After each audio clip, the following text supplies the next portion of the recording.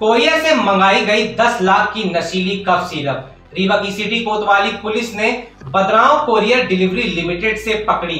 एक आरोपी भी पुलिस की गिरफ्त में। 4800 सीसी नशीली कफ सिरप थी।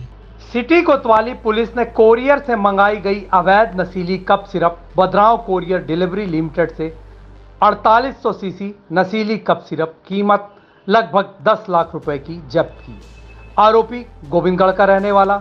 उसकी दुकान पुलिस ने तीन महीना पहले ही सील कर दी थी। फिर भी उसने कोरियर के माध्यम से इस कारोबार को बंद नहीं किया।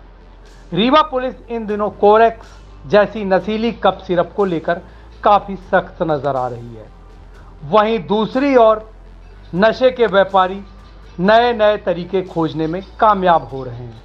आपने कभी नहीं सुना होगा, नशीले पदार्थ कोरियर के माध्यम से मंगाई जा रही है। वह भी एक दो नहीं, पूरे लगभग 5000 सीसी के आसपास 4800 सीसी। नशे के खिलाफ पुलिस द्वारा चलाए जा रहे विशेष अभियान में सिटी कोतवाली पुलिस को भारी सफलता मिली। सिटी कोतवाली पुलिस ने आज नशीली कप सिरप के खिलाफ दो बड़ी कार्रवाई की। थाना प्रभारी सिटी कोतवाली रीवा आदित्य प्रताप सिंह को सुबह मुखबिर से सूचना मिली।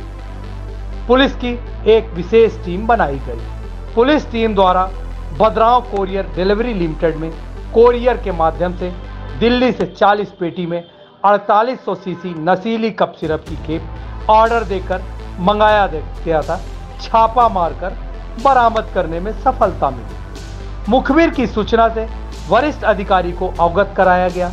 बदराव डिलीवरी लिमिटेड कोरियर में रेड कार्रवाई की गई। मौके से 40 पेटी, जिसमें प्रत्येक सीसी में 100 एम की एक पेटी 120 सीसी कुल 4800 सीसी नशीली कप सिरप बरामद की गई। कोरियर मैनेजर से पूछताछ और रसीद पेश करने पर पाया गया कृष्णा मेडिकल स्टोर, पीपल चौराहा, गोविंदगढ़ द्वारा यह नशीली सिरप मंगाई गई है। आरोपी कृष्णा मेडिकल स्टोर, पीपल चौराहा, गोविंदगढ़ से पूछताछ में उसने अपना नाम रावेंद्र कृष्ण बताया। माना जा सकता है, जिस तरीके से रावेंद्र कृष्ण पिता राम निरंजन यादव निवासी पीपल चौराहा गोविंदगढ़ दुकान बंद करने के बाद भी पुलिस द्वारा इस तरीके का काम कर रहा था, ये अपने आप में काफ़ी बड़ी बात है। आरोपी ने दिल्ली से ऑर्डर में कोडीन फास्फेट युक्त 40 पेटी, कुल 4800 CC Onerex cough syrup company की नशीली कप सिरप, जिसकी बाज़ार में कीमत 10 लाख रुपए है, मंगाई थी। प्रकरण में उपरोक्त आरोपी को गिरफ़्तार किया जाकर आरोपी के विरुद्ध थाने में अपराध क्रमांक आठ सौ चौरानबे, दो धारा आठ बटे इक्कीस, बटे बाईस एनडीपीएस एक्ट पाँच बटे तेरह औषधि नियंत्रण अधिनियम का प्रकरण दर्ज किया जाकर बरामद मादक पदार्थ कप सिरप के संबंध में पूछताछ की जैसा कि आपने देखा, माननीय मुख्यमंत्री जी द्वारा निर्देशित नशा मुक्ति अभियान के तहत हम लोगों ने एक हेल्पलाइन नंबर सबके लिए जारी किया था। उस हेल्पलाइन नंबर पर सूचनाएँ आना शुरू हुई थी और आज एक व्यक्ति ने फ़ोन कर कर उसकी सूचना दी।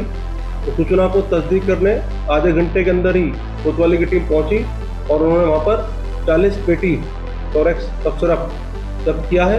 ये एक कोरियर कंपनी है। प्रथम दृष्टया जो जानकारी मिली है और जो आरोपी है, वो राउंड अप कर लिया गया है। उसका पिछला भी रिकॉर्ड उसका फोरेक्स और नशीले पदार्थों को बेचने का है।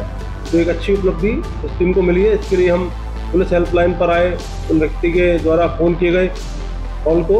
उन व्यक्ति को धन्यवाद देते हैं कि सोसाइटी के लिए उन्होंने आगे बढ़ के इतना अच्छा सहयोग किया।